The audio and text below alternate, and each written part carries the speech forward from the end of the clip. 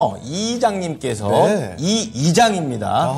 예, 코다코. 아, 이 장이 아니라 어. 이 이장. 아, 이게 아까 또 아나운서로서 발음에 또 어, 잘해야 되겠죠. 그렇죠, 그렇죠. 예, 이 이장님께서 오신 코다코 오늘 1.6% 올라가고 있고 1,400원대에서 매수를 하셨습니다. 비중이 30%라 적지는 않은데 네. 지금 좀 떨어졌잖아요. 예, 그렇기 때문에 이 부분에 대해서 앞으로 전략을 궁금해하고 계십니다. 뭐 이 증시가 떨어지니까 같이 밀린 것 같기도 하고요. 네. 알아보죠. 전문가님 코다코 어떻게 보세요? 글쎄요, 그 접근 포인트는 왜 사신지 명확하게 좀 알 것 같은데 예, 아무래도 이제 전기차 공략을 좀 하신 것 같거든요. 아, 여기는 이제 자동차, 전기차 부품 쪽에 조향 장치라든지 여러 가지를 만들고 있습니다. 아, 특히나 이제 알루미늄 그 부품이죠, 다이캐스팅 아, 여기도 지금 하고 있는데 어, 실적은 그 솔직히 좀 많이 좋아졌던 것 같습니다. 어, 2018년도에 뭐 19년도, 20년도까지 만년 적자 회사였었는데 이제 흑자로 좀 돌아섰거든요. 그런데 이제 이 회사의 그 문제라고 그 좀 보여지는 것은 아, 재무가 상당히 그 좋지 않습니다.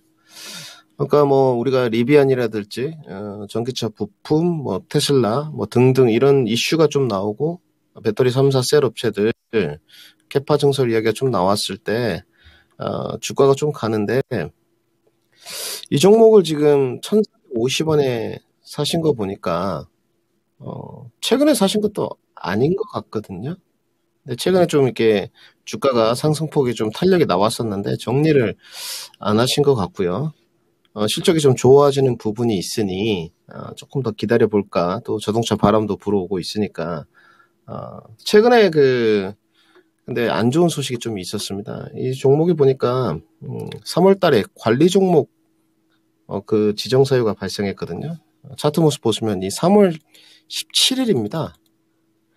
이날 그 저가까지 찍었거든요. 그래서 조금 불안하시지 않을까라는 그 좀 생각을 해보고요.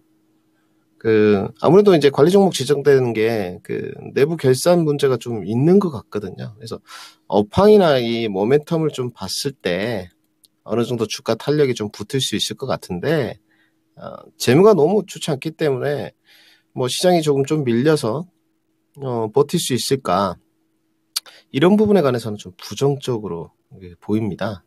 아, 흔히 말하는 어떤 주도 세력들의 어, 뭐 수- 주가 견인차 역할 이런 것까지는 제가 잘 모르겠지만 그렇게 모양새가 좋아 보이지는 않아요. 그러니까 제한된 수급 속에서 뭐 하루 자동차 갔다가 하루 반도체 갔다가 또 자동차 안에서 다른 섹터를 갔다가 뭐 등등 이런 수급의 순환매는 이루어질 수 있고 오늘 시장이 뭐 그렇게 어제만큼은 아니지만 약보합권이잖아요.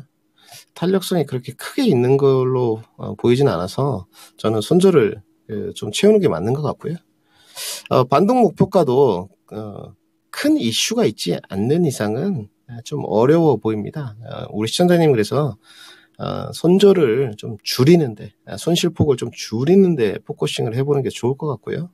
어, 결론만 말씀드리면 음, 모멘텀을 받기에는 충분하나 아, 너무 장기간 투자라든지 하기에는 재무가 너무 좋지 않고 기업의 내용이 좀 좋지 않다.